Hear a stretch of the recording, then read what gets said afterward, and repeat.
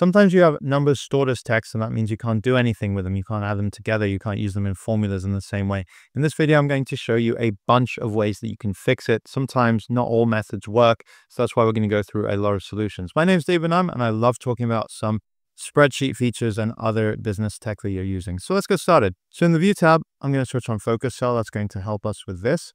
So here you can see that some of the numbers are left aligned and if they're left aligned, that means that Excel usually thinks they're text. Not always, because you can manually set that as well, but usually that's what it means. Other times you'll know that they're text because they have this green triangle. And one of the methods is if you click on the drop down, you can choose convert to number and then it will switch it. But you don't always see that. For example, I don't see it for this number four. So we need some other methods. Another way to surefire know if it's happening or not is if you select a couple of cells and you look here. If the sum says 2 when there's clearly a 5 as well, then it's not currently working. Same here, it just says 2. Sometimes you'll get punctuation that accidentally imports, and those are things that you might want to change. So let's look at some of the methods.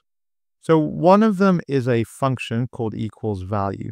Value will convert a text string that represents a number to a number, and if I do this on just a number, it will have no effect. But if I drag it down, then it will work for the text values.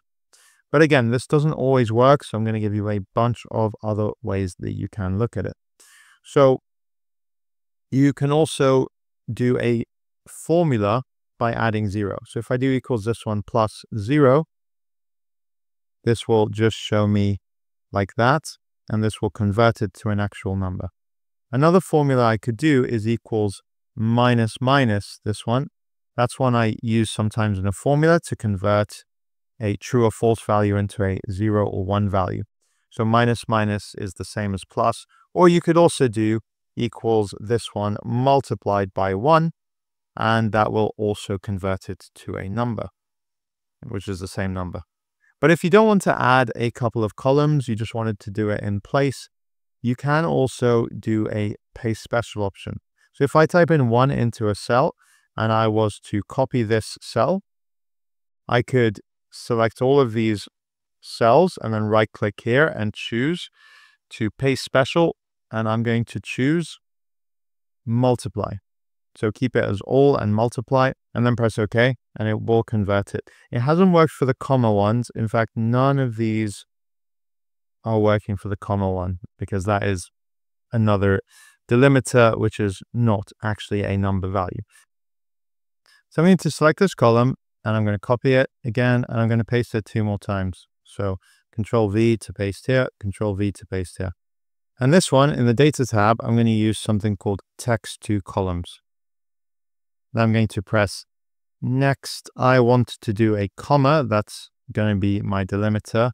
And note that if I drag down, the four is going to be in the second column. And in the top one, I actually have a formula that is converting it into text. So if I click finish, let's see what happens. The four has worked. This is now a number, but it's gone to the second column. But I can cut and paste and get that working. And this is a formula equals text that is now broken because this is now stored as text. So this method worked with the other ones, but not with this one. There is another way that you can do a data transformation, and that is using Power Query. So I'm going to call this column data, and if I select it and I choose the data tab and I choose from table arrange, ask you as a data for your table, press OK. So if I click on here and I choose the number type that I want, either decimal or whole number or currency, if that's what you're using, then it will actually convert it. This is an error. So you might need to use the replace values beforehand to make sure that you pick up any extra punctuation. But essentially that is how you can do it. So I love Power Query. I have a whole bunch of videos on them because it is such a transformational tool. So I will highly encourage you to try watching them and I'll link to one in this video. So press close and load from Power Query. It will create a new worksheet with your data. It also will show you here that you have errors, but this can be a way to convert it as I said before. All right, well, there's a bunch of different ways. Hopefully one of them will work for your situation, if not more.